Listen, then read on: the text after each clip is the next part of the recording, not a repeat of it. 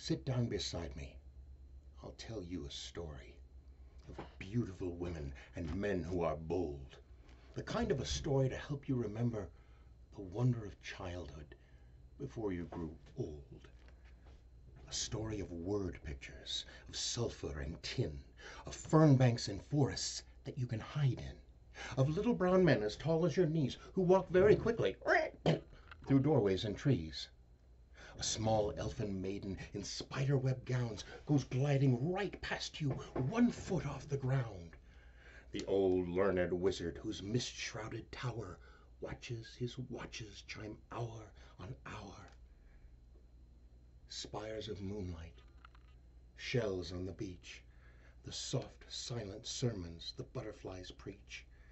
And wait for the wind to come running up fast, and watch as his footsteps go past in the grass. So think of a feeling from when you were younger. Now give it a color or call it by name.